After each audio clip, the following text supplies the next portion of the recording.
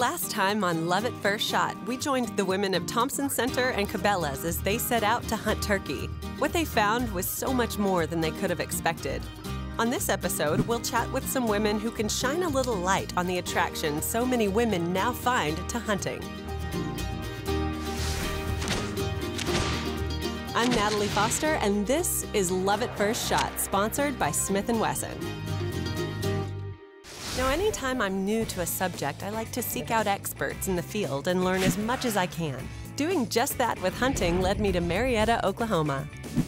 I have the distinct honor today of sitting here with Diana Award winner Suzie Brewster. And Suzie, I can't thank you enough for having us today. Thank you. This is really, really fun and so amazing to see this environment that you have uh, created here. It's really impressive. You have done a lot of hunting. I've done a lot of hunting. Tell me how I get from where I am now, complete novice, not having a lot of luck, to where you are. Well, I've been doing this for a lot of years, a lot of years.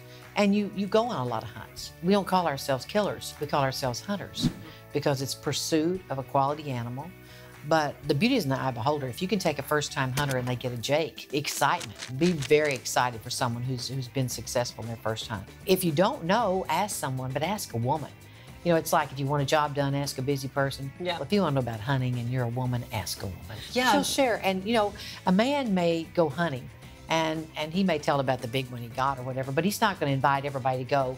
Uh, and that's not always true. I said, you know, people take their grandchildren, they'll take their son, but sometimes they forget about that daughter Yeah. who might have a real passion for doing the same thing. So ask them. So I always start with women, I think. Okay, if you get a woman, uh, she's going to influence her children, she's going to influence her neighbors and her friends, and she's going to understand the conservation aspects of hunting and be able to defend it. I had visions of my trophy and, of course, of the meat and all of that Right, that I was so looking forward to. But, of course, it didn't pan out. You came home empty handed. I did. The thoughts were still in your mind, and the first thing you were thinking about, when can I go? Where can I go next? Right. because I can I can do this. That's what women are. We're can do people. If you've never missed, you've never hunted. Right. And I feel really sorry for people who say, "Oh, I've never missed." You'll hear Bubba say that, but it's really not probably not true. He's probably just in the bragging rights. One of the things you really get to know is like the anatomy of an animal. Always ask, you know, exactly where should I put my shot. Everybody's been there. Everybody took a first step. My husband and I hunt together. You can pull them away from that office. You can pull them away from all the things that are, you, you're thinking about and all the things that are really on your mind. And you kind of concentrate on that togetherness. And, and you just, it's a closeness. Nature does that for you. I mean, I think that's kind of way back from the beginning of time. You know, nature's what's brought you together. The enjoyment that I have is being with him. Those memories made with those Oh. people, they last a lifetime, first They of do all. last a And they're, lifetime. they're, there's just no value that you can place on them, right? No, not at all. Not at all. And it's such a feeling of accomplishment. I mean, and it's just a, it's such a shared time. Well, I just love how not only do they represent stories and memories for you, but they right. also represent you serving someone else. Oh, definitely. Definitely in Africa. I mean, these people are protein starved. There isn't that much food, and the food that they do eat, the mealie meal and whatever, doesn't have a lot of food value. Yeah. So when a hunter comes into a community and they can harvest an animal, the people in that community want the meat badly. So you share. You always give meat back to the community and the people around you. You know, all the money that we pay, we have money that's designated from our, our trophy fees, from our ammunition, everything you buy created with the hunting world goes back in some way to give back. A lot of the funds, too, I understand, go into anti-poaching efforts. Definitely. Oh, in Africa, definitely. They So you're really you're keeping the herd intact, actually. Yes, you are. Yeah. Yes, you are. And you're and, and the kill is very specific. and you're giving value to an animal. Right. Exactly. The life by of cutting the poaching because it, the rhino poaching, when you're just shooting an animal and leaving it lying, uh, and just taking the horn, it, it makes no sense at all, and leaving the young behind. And I find that most hunters I've spoken to are very passionate about that. It, it is not, you need to Definitely. use that animal, every aspect of that You're animal. right. I never saw myself as a hunter, but now I find it such a worthy pastime. It is. And there's so much that you can do to give back. Well, you can, hunting. and you're enjoying nature, and you're with other people, and you- you're just sharing a passion. And you might surprise uh, yourself. You might surprise yourself. In and- fact, I, I find every time I go out in pursuit of any animal, even though I haven't had a lot of luck, I do find out things about myself. And it's amazing how introspective it becomes. I learn so much about the outside world, but also I learn a lot about myself. you do. Well, Suzie, I can't thank you enough for your time today, and I really uh, I appreciate just your information and insight and knowledge about this. Uh, well, about I want to share. I want to share, and, and anyone that's out there that, that can't find anybody, they can always call the NRA because there are a lot of people who are willing to share with them. Suzie has built a collection of trophies and memories over a lifetime, and now she influences even more women through her philanthropy. Now let's meet Nicole, who connects and educates through her hunting show on the Outdoor Channel.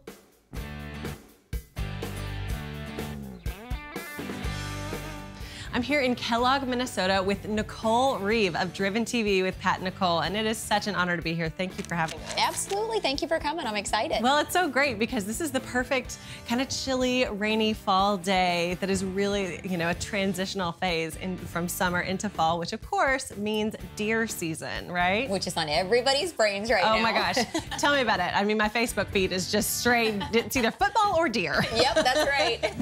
Let's talk about your background because you're used to this kind of thing. You know, and that's what I always say. It's so funny because I was. I was born and raised yeah. doing, you know, going out with my brothers and my dad and going deer hunting. And it's what I say, it's in my blood. I don't know anything different. Um, I've always hunted deer. So, you know, it's one of those things where now it's so great because not only being able to affect people's lives through our television program, we go to all these different trade shows and different deer shows and things and get to talk to people one on one, face to face. A lot of females like yourself, they're a little skeptical, you know, when it comes to the deer hunting thing. And you you say like Bambi and yeah, you yeah. know, and that kind of thing. And you know, it's one of those things where some of it is not just being educated about it, but learning more and seeing, I think, more females into the industry and getting into hunting and the sport of hunting and right.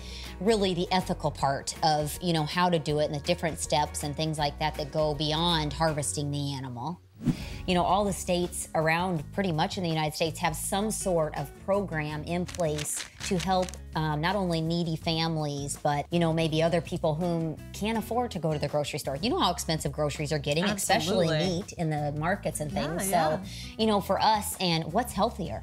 Than homegrown venison. You're not going to get any healthier meat. Just this past weekend, our son Carson went and harvested a deer in Kansas, and we just had fresh back straps for dinner last night. If there's anything that anybody takes away from this that is anti, you know, hunter, there's so much more. Please just find your education. There's so much more beyond harvesting of the animal. Right. You know, that help people for the rest of their lives. It helps them survive and helps them thrive you learn so much too about just nature and the Absolutely. way that all of these things work that i mean you know, I grew up around hunting, but now I'm kind of a city girl and I don't know these things. So talk a little bit about that. Well, once first of all, it's never too late. You can still live in the city and yeah. still get out. Yeah. But you know, I mean, that's the number one thing, and that's how we've tried to raise our children. Is it's not just about the harvesting of the animal, but like you said, just going out in nature and enjoying what God has created for us. Tell me about how it differs specifically from the turkey hunt that I've been on. Well, turkeys you have to wake up way too early for. we always here, here.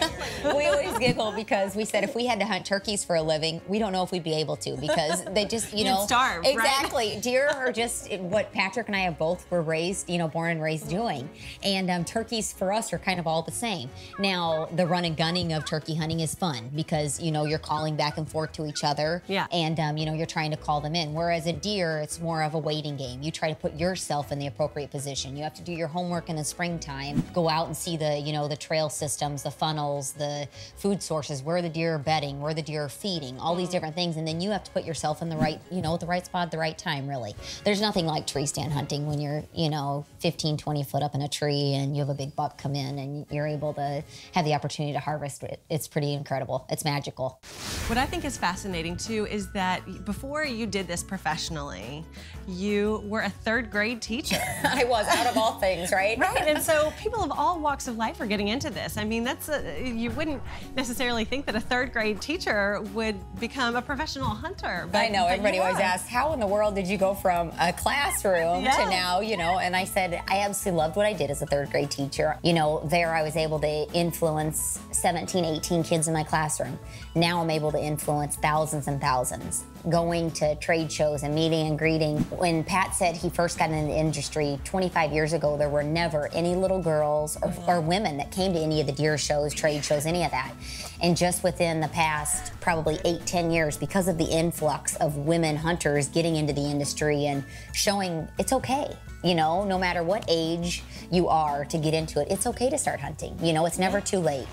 You know, I think my most special story of all is a 77 year old woman this past year at a trade show came up to me and said, You know, my husband's been hunting for all his life. We've been married for umpteen years, Forever, you know, yeah. and I've never been out to the field with him. She said, after watching you and Pat and watching the relationship you guys have and the experiences you guys are experiencing together, she said, I really felt like I was missing out on that with my husband. Wow. She went out with him and um, she said, I'll never stay at home ever again.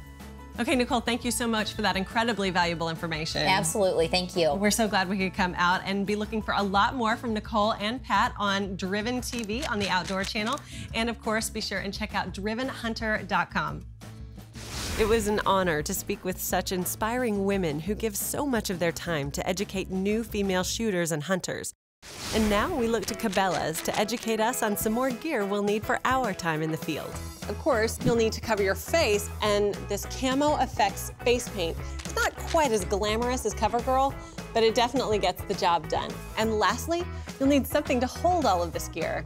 This 5.11 camo backpack is perfect for that. It's got a lot of little compartments, as you can see, to hold everything that you'll need. Now that you've got your list and you're ready to try all of this out in the field, send us your stories and your photos, and they may even end up on the trophy gallery on nrawomen.tv. As always, check in with us on Facebook, Instagram, and Twitter. And we'll see you next time on Love at First Shot, sponsored by Smith & Wesson.